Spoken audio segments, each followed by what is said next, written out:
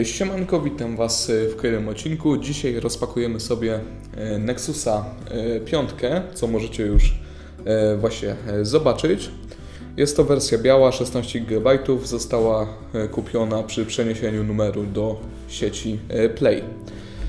E, No jak dobrze wszyscy wiedzą, producentem e, tego urządzenia jest LG. Mm, No i co my tutaj mamy? Mamy Snapdragona 800, jest to bardzo wydajna jednostka, na pewno zapewni bardzo, bardzo sprawną i szybką e, pracę z tym telefonem. 2 GB pamięci RAM, e, ekran e, Full HD.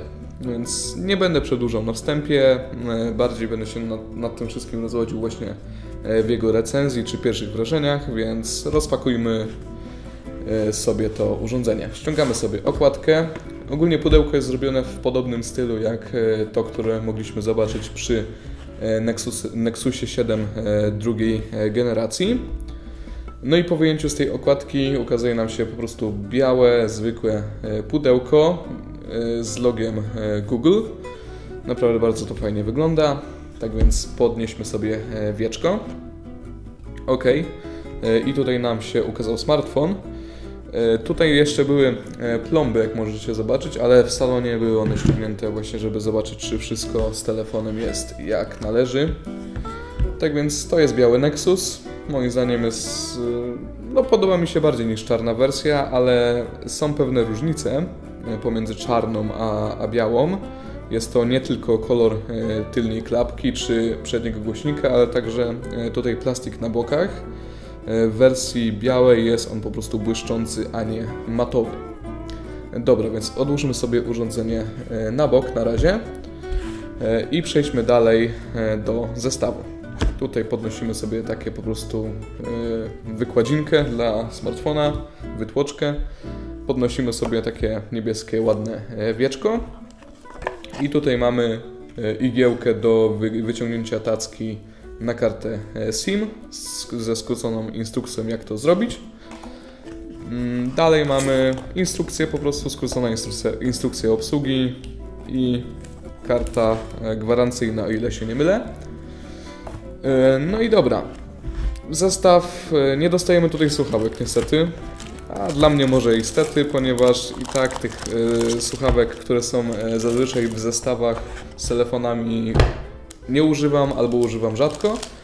E, Tak więc dostajemy tylko ładowarkę sieciową i kabelek USB. Tak więc rozpakujmy sobie to teraz.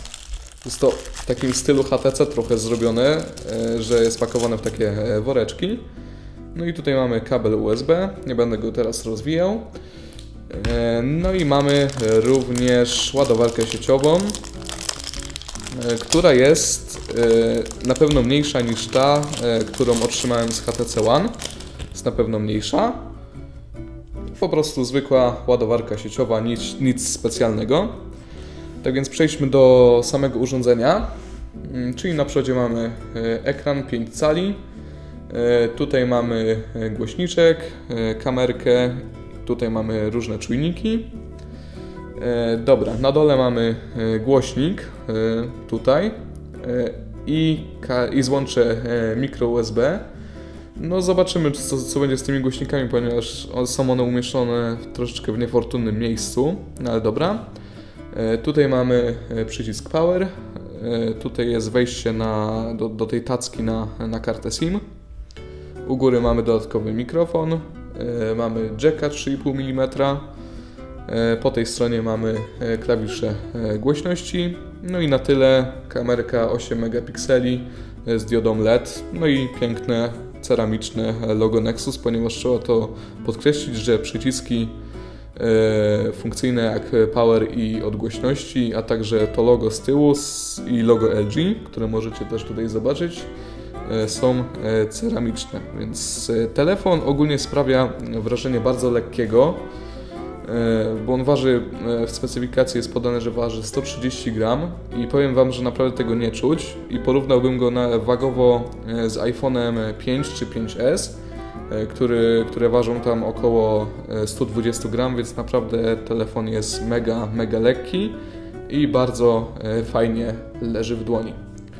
Więc myślę, że to by było na tyle e, w unboxingu. Na pewno będą pierwsze wrażenia, a także recenzja, więc e, no widzimy się po prostu w następnym odcinku, więc pozdrawiam Was, cześć.